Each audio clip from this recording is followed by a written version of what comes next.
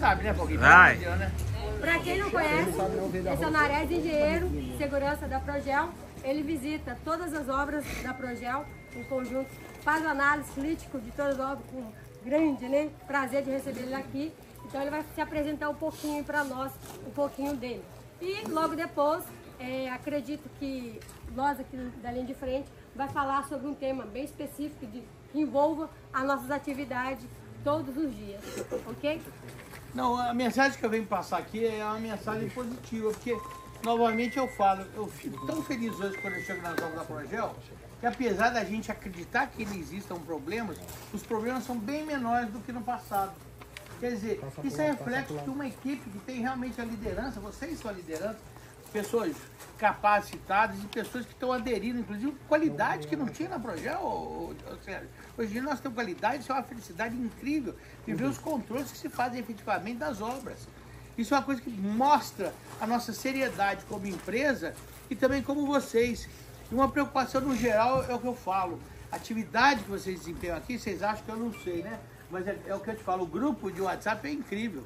Que eu sei que a atividade que nós estamos aqui, o Foguinho está aí, tá aí filmando, eu tenho, tenho meu amigo aqui, que eu, Seu filho, meu filho Robson, o Robson aqui que é N3 e, e toma conta da turma, quer dizer, é uma atividade de grau de risco 4 da engenharia. Então, quer dizer, qualquer descuido, tá aqui o Foguinho, o Robson, dois grandes amigos que eu tenho aqui juntos pela primeira vez, é bacana, que eu falo aqui que a, a segurança que nós temos está na mão da gente mesmo, mas na atividade que a gente tem que fazer de maneira assertiva. Qual a atividade de maneira assertiva trabalho em corda dupla? Você não pode errar, você pode errar na corda dupla? Por quê? Aí eu pergunto, qual o maior risco em trabalho em corda dupla, Alex? Queda de nível diferente. Pode ser, pois, pois é, eu- eu- queda de nível. Quer dizer, a gente não pode se amarrar e cair lá de cima, porque a gente causa um, um dano para nós mesmos. E por isso que a gente tem, o Robson está sempre fazendo todos os programas comigo.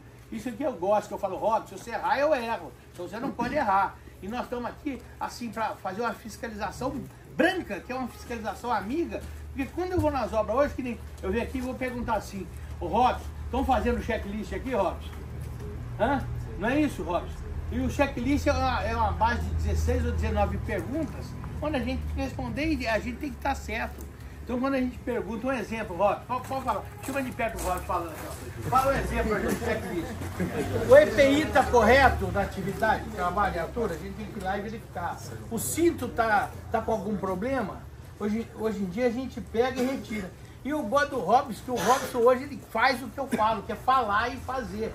Então, se vocês repararem, nós temos um site que eu vou atualizando, esses vídeos vão parar no site com o pessoal, justamente para mostrar que a gente tem um ambiente de seriedade hoje na Progel. Que a gente não faz as coisas só, só assinar o DDS, só assinar análise preliminar de risco. Por exemplo, eu estar aqui, eu posso afirmar que hoje vai ter trabalho ainda em talude. Vocês estão fazendo limpeza, regularização de talude, aplicação de tela metálica e principalmente execução de chubadores. Eu acho que já terminou. Eu acho que já terminou. É, mas nós temos ainda uma coisa que também é pesada, que é a aplicação de concreto projetado sem o robô. Quer dizer, nós estamos fazendo com, com a turma aí, que eu, eu não estou vendo agora de avental branco, mas porque também os caras tiram para almoçar.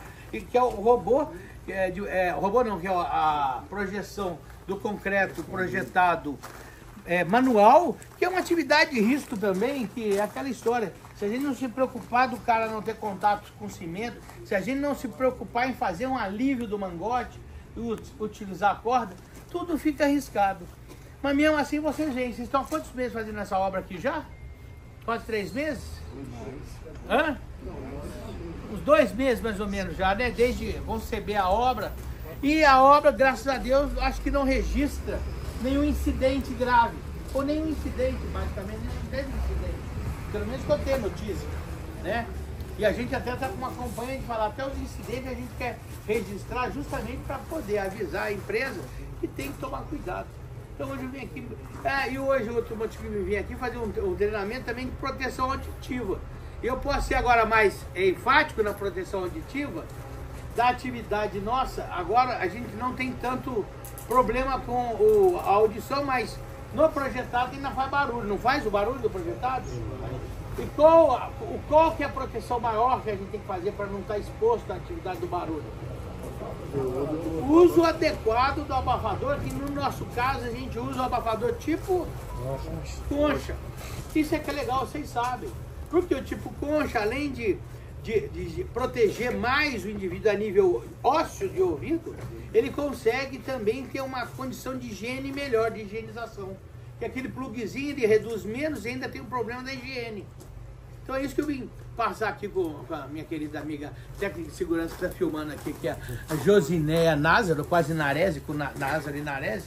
A Josinéia está aqui, mais a minha querida enfermeira é, Maria, que já trabalhamos junto, quer dizer, em passar em vocês serem multiplicadores e dar um treinamento simples, que faz parte de outra coisa, que muitas vezes a gente não sabe. A gente chega na obra, cadê Felipe? Cadê Felipe? Vem cá, Felipe. Quando a gente fala aqui, ó, vem cá, Felipe. O, o, o, PGR, quando a gente faz toda obra, a gente faz o PGR, que muitas vezes a gente não lê, não dá valor. Mas o PGR, que é o Plano de Gestão de Riscos, está isso tudo previsto no cronograma que a gente tem que seguir, que é, faz parte do jogo.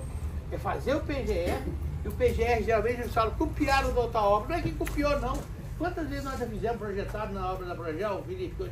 Eu já me perdi, eu acho mais de, de, de 500 obras, mais de mil obras. Então o PGR a gente já é uma condição de trabalho que fica hoje em dia, eu não sei se aqui a gente já tem o PGR QR Code, né? Mas, mas, deve estar em algum lugar aí específico. Está aqui ou não está lá dentro? Então está no escritório, mas é um documento que hoje em dia fica visível ao funcionário, se alguém tiver alguma crítica, porque o PGR é um instrumento que norteia a obra de início, meio e fim nós fazemos um PGR na concepção praticamente da proposta técnica. Quando faz o quick-off, se reúne com o cliente e vocês aqui com o cliente, vocês devem fazer os DDS e as análises de risco, né? Que ele aprova. E eu estou vendo aqui na obra um quadro de gestão à vista muito, muito efusivo, muito à vista. É isso mesmo que vale a pena. Por quê? A gente tem o direito, hoje em dia, chamado direito ao trabalho seguro, o antigo direito de recusa. Porque o direito de recusa quando você chega lá e fala, ô Daré, você vai trabalhar lá em cima do talude de qualquer jeito com uma corda. Eu falei, ô oh, Alex, aí, Alex. Uma corda não, não, não, Pô, me ajuda aí, ué. Eu quero ajudar o projeto, mas me deem condições para não me acidentar. Ou condições de controle. Então essa é a mensagem que eu venho aqui passar para vocês. Se dependesse de mim, quando eu empolgo, eu já ando ficando até sem voz. Porque eu, de tanto falar, porque eu, eu gosto de falar e hoje eu gosto de passar conhecimento adiante de uma maneira correta, sem fazer nada errado, entendeu? Sem fazer nada errado, de uma maneira eficaz. Só que treinamentos têm carga horária, tem tempo, tem prazo e tem dedicação. É o que eu brinco. Eu hoje, na condição de ser corporativo, tenho 50 obras para atender. Eu consigo atender. Agora, outra coisa que eu falo aqui, os meus técnicos de segurança, os meus encarregados, os meus engenheiros, têm pleno poder para dar e ministrar os treinamentos, porque eles têm a capacidade técnica dada por nós. Nós permitimos isso. Então, o conhecimento, como você faz na parte de qualidade, como você faz na parte de segurança, dos INET também, esse conhecimento tem que ser difundido a todos vocês. E eu digo que vocês são meus olhos e meus ouvidos. Por quê? Se vocês fizerem tudo certo, ninguém dá parabéns para mim também. Agora, se vocês fazem alguma coisa errada, pergunta se não vão puxar a orelha aqui. Pô, como é que você deixou o cara errado? Agora, sou eu que faço a minha segurança? Ou é você mesmo que faz a sua segurança? Eu, eu vou ficar tomando conta de você? E você, vocês não têm maturidade já para saber o que é certo e o que é errado. Ainda mais com a Alex aqui, que hoje também é uma pessoa de extrema é, confiança que eu tenho na obra. Então a gente tem essa segurança de estar tá fazendo o certo. Tá bom, pessoal? Eu não queria me estender mais, mas se vocês quiserem perguntar ou falar alguma coisa, estamos à disposição.